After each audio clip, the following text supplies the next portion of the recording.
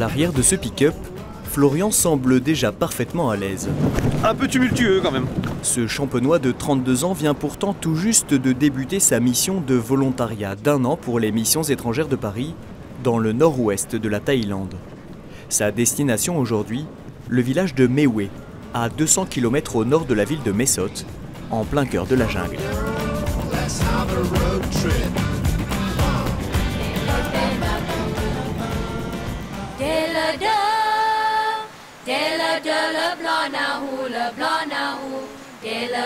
Mewe est un village chrétien peuplé par quelques dizaines de familles karen, une minorité ethnique vivant à la frontière entre la Birmanie et la Thaïlande. Niché au fond d'une vallée, le temps semble ici avoir suspendu son vol. Donc on y est, voilà le, le local de Terre Carène, l'atelier de couture. Depuis 7 ans, l'association Terre Carène soutient le développement de l'activité.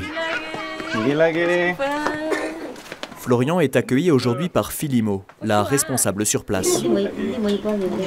Dans l'atelier, cinq femmes travaillent en enfilade à la couture de produits d'artisanat carène, fichu rose vissé sur la tête. Many many produce uh, to do uh, the bag and the clothes, too uh, for uh, women, women to do uh, uh, elephant.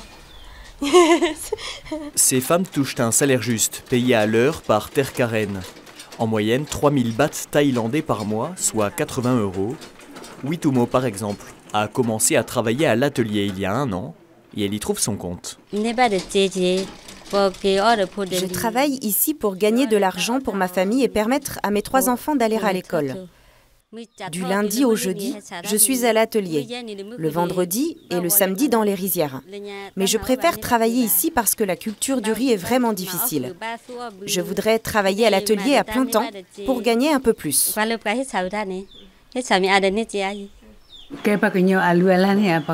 Coudre ses habits est aussi une manière de promouvoir notre culture carène.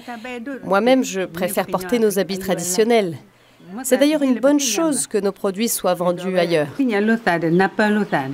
Depuis sa fondation par un ancien volontaire des missions étrangères de Paris, l'association Terre Carène poursuit deux objectifs principaux, promouvoir la culture carène et développer une activité pérenne pour les habitants de Mewe.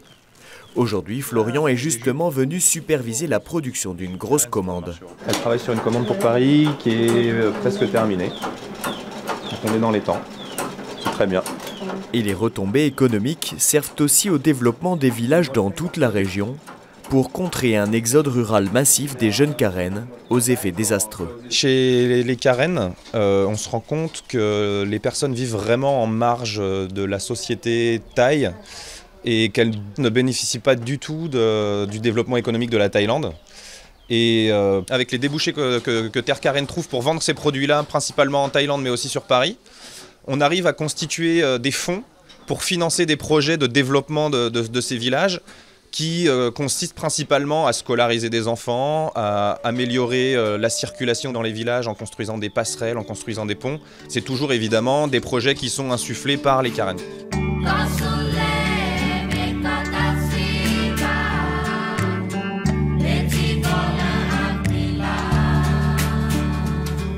Mais l'activité de Terre Carène ne s'arrête pas là.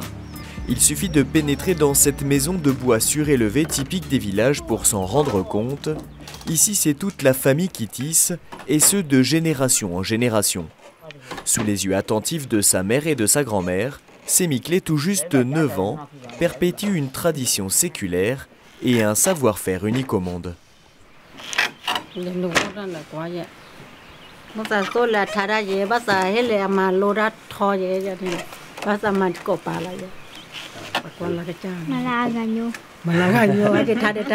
À Mewe, le temps libre permet aussi d'améliorer les conditions de vie de la famille. Chaque lait simple rapporte 220 bahts, soit 6 euros, et 2 euros de plus pour une lait à motif comme celle-ci. Une quinzaine d'autres tisserandes alimentent d'ailleurs la coopérative de tissage du village, Reipomo. Est l'une d'entre elles. Là, je tisse une laie traditionnelle rouge arrêt blanche destinée ensuite à faire une chemise. C'est une activité intéressante.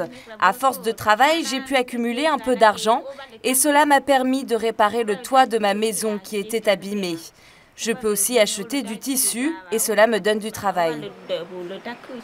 Ce qui frappe dans ce décor, c'est le maillot de football que cette tisserande porte. Meilleur marché, le fruit de l'industrie textile thaïlandaise a investi les villages comme un signe de déracinement. Voilà tout l'enjeu pour Terre Carène, participer à la sauvegarde d'une culture et d'une identité vieille de plus de 2000 ans, dont l'habit traditionnel symbolise toute la force d'appartenance.